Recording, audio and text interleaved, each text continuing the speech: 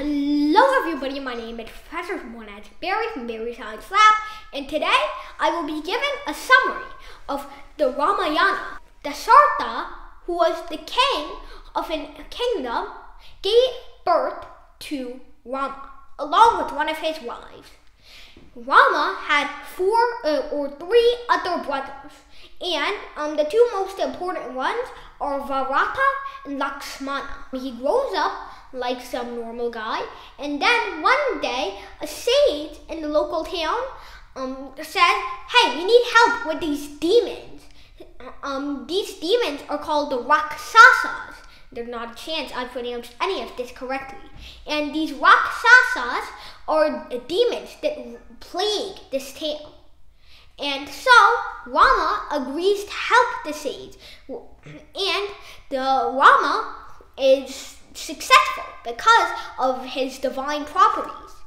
And for, as a gift, the sage offers him a ride to the nearby kingdom. And in this nearby kingdom, the king is offering challenges to many suitors.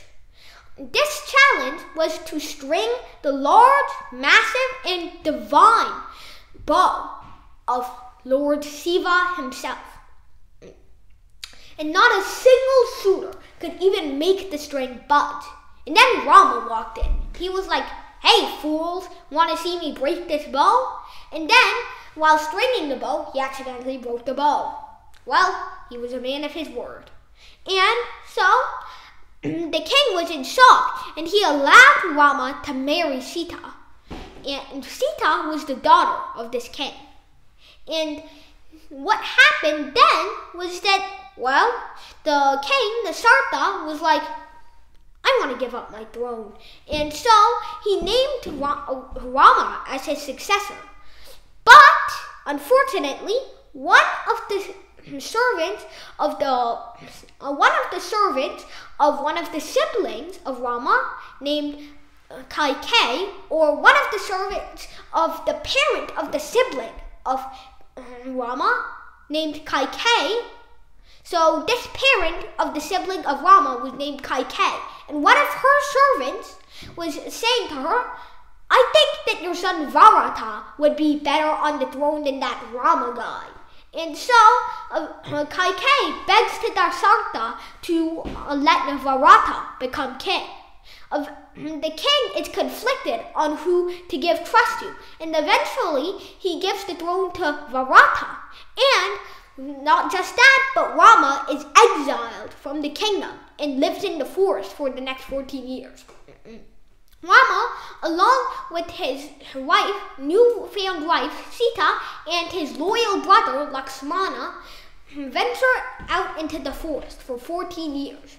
During their time there, they not only live a cool, relaxing life, but do awesome stuff like um, kill demons, kill giant demons, get magic bows, communicate with magic eagles, and um, I mean a lot of other stuff. And eventually, what happens is that um these, those Rakshasas, those pesky demons, they can shapeshift they eventually learned that Rama had been exiled into the forest, and they sent an army, 14,000 strong, to go capture Rama. However, Rama fends them all off with his magical bow. And so, eventually, one of the Rakshasas, named hmm, Ravana, is seriously pissed off that all of the fellow demons have been destroyed. And so, hmm, what he does is he plots to capture Sita. Eventually, he orders one of his servant demons to turn into a golden deer and prance into the forest. And eventually, Sita sees that golden deer and is like, Oh my god, that's totally not a demon, and I need to get that golden deer for myself right now. And so she asks Rama and Lakshmana to, I mean, do the deed with the deer. And I mean, they do. They go off into the forest, leaving, uh, leaving Sita alone. And that's when Ravana strikes. He first turns into an old hermit and asks, no, and asks Sita if he, she would want to marry him.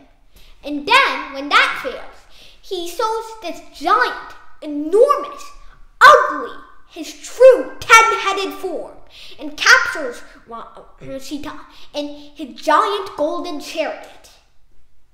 Sita is panicking and she drops jewelry off the chariot, hoping that Rama could trace the steps of the chariot and rescue her. Eventually, Rama and Lakshmana, after a long time, are done with the deed with the deer.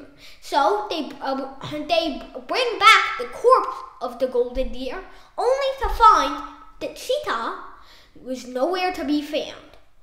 Eventually, that one magic eagle that I talked about before was really wounded. He was lying on the floor because he had nearly been killed by Ravana. And he said one last time to Rama and Lakshmana, Hey guys, I just saw Ravana go off with Sita in a chariot. You should probably go follow her. And eventually, uh, and then that eagle died. And I mean, Rama and Lakshmana followed the advice and they tried to track down Ravana's lair so they could rescue Sita. Eventually, on their way there, they meet the Monkey King of a Monkey Kingdom. And this Monkey King is being advised by a monkey advisor. I'm sorry that I can't mention their names, but I forgot. There's a lot of names here.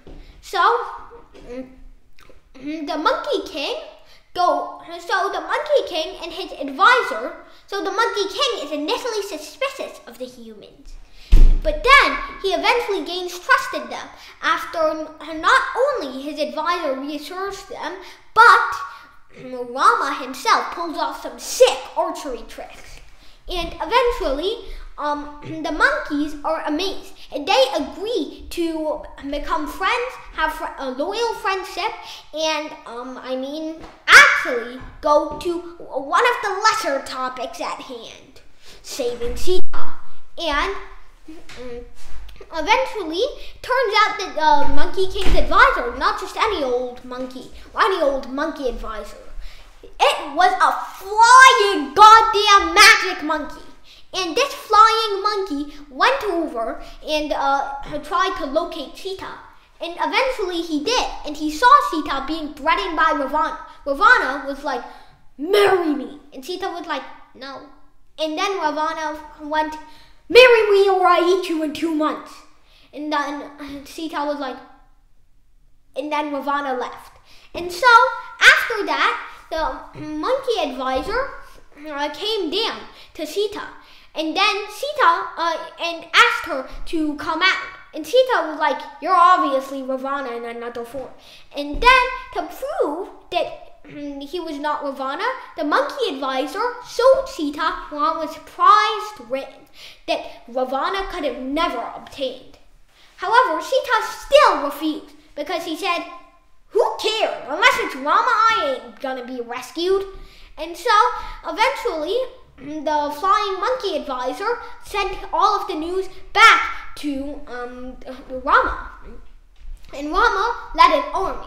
Not just a regular, like, 10 person army, but thousands of uh, people in an army. And these weren't just regular people, these were thousands of monkeys. And, and this monkey battalion went and tried to face the monstrous, absolutely stunning force of Ravana. The long battle took days, but eventually Rama finished the battle off with a shot in the chest to Ravana.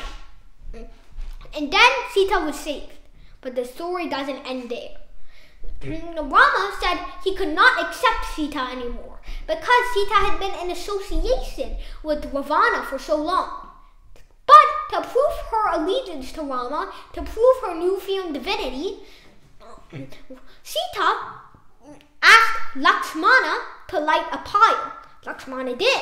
And eventually, both Lakshmana and Rama looked over, and then um, Sita was burning in the fire. And then, eventually, when the fire burnt out, no marks on her. She was left unscathed. And not only did Rama say, "Okay, you win. I, I, I can still marry you," but also what Rama said was, "Okay, I was joking on that last statement. You were always worthy to me, and I promise I wasn't betraying you." And that is the end of the Ramayana. Thank you everybody for watching, and we'll see you next time. It's also really long, so please don't ask me to actually read the entire thing. Bye.